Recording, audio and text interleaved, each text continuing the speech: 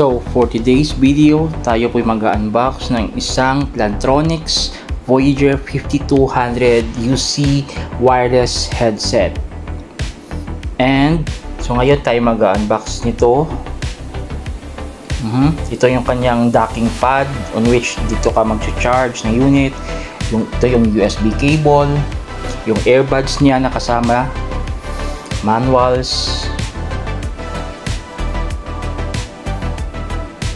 Yun, another manuals. Then, yung kanyang Type-C converter on which magagamit mo siya sa Type-C na mobile phones.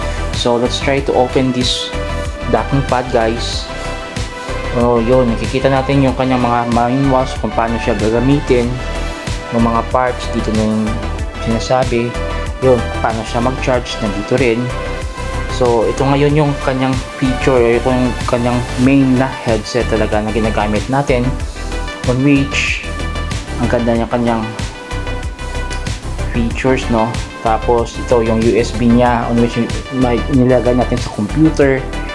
So itong yung lagayan niya o yung USB dock niya.